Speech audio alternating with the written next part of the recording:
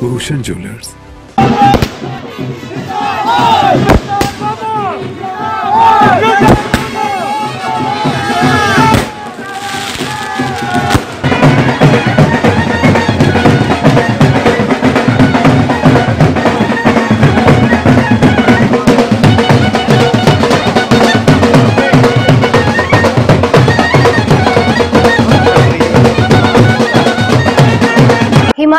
विधानसभा चुनावों में सभी राजनीतिक दलों और आज़ाद प्रत्याशियों ने नामांकन दर्ज करने के बाद अपना चुनाव प्रचार अभियान जोरों से शुरू कर दिया है। विधानसभा जसीमपुर के कांग्रेस प्रत्याशी यादविंदर गोमा ने भी वीरवार को अपने चुनाव क्षेत्र के 10 बूथों में प्रचार किया और लोगो ऐसी कांग्रेस पार्टी के पक्ष में वोट डालने की अपील की। विधानसभा जसीमपुर की दगोह पंचायत में सैकड़ों लोगों ने बैंड बाजों के साथ गोमा का स्वागत किया और सभी ने कांग्रेस पार्टी को वोट देने की बात कही। जिंदाबाद।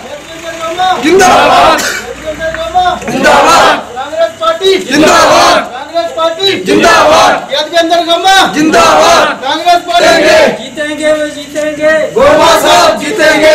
क्यों पड़े हो चक्कर में? कोई नहीं है टक्कर में क्यों पड़े हो चक्कर में कोई नहीं है टक्कर गोमा ने कहा कि लोग भाजपा की जन विरोधी नीतियों से परेशान हो चुके हैं और लोगों का भाजपा से भरोसा उठ चुका है। इसलिए लोग भाजपा छोड़ कांग्रेस पार्टी का दामन थाम रहे हैं। गोमा ने कहा कि आज भी चुनाव प्रचार के दौरान सैकड़ों लोगों ने भाजपा छोड़ कांग्रेस में शामिल हुए। गोमा ने सभी लोगों से अपील की कि बढ़ती महँगाई, बेरोजगारी को दूर करने और प्रदेश की उन्नति के लिए कांग्रेस पार्टी के पक्ष में वोट करें। मीटिंग में आए हैं और आप सबका दिल की गहराइयों से धन्यवाद करता हूँ कि आप सभी के आशीर्वाद और सहयोग से मुझे कांग्रेस पार्टी का फिर से जसीमपुर विधानसभा क्षेत्र का जो है, वो प्रत्याशी घोषित किया गया है।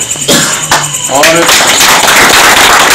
इससे पहले 2012 में आपके आशीर्वाद से, जब मैं यहाँ से विधायक बना था, उसमें जो आपके यहाँ पर मांग थी, चाहे वो बैंक की मांग थी, चाहे आपके स्कूल को आर्ट्स की कक्षाएँ देने की बात हो कॉमर्स की, और पानी की स्कीम की बात हो, हमने उस समय जो है, इन कामों को करवाया था। आप लोगों की धार की मांग थी कि एक दिल्ली बस जो वो चलाई जाए, उसको हमने अपने कार्यकाल में किया था। जो मेरे कार्य क्षेत्र में जो मुझसे संभव हो सका मैंने अपनी ओर से किया और चुनाव हुए। किसी कारणवश मेरी हार हुई। जसीमपुर से अजय पाल की रिपोर्ट। ऐसी ही वीडियो को देखने के लिए ई एन टीवी के फेसबुक पेज को लाइक करें और यूट्यूब चैनल को सब्सक्राइब करें। और वीडियो अच्छी लगी हो तो शेयर ज़रूर करें।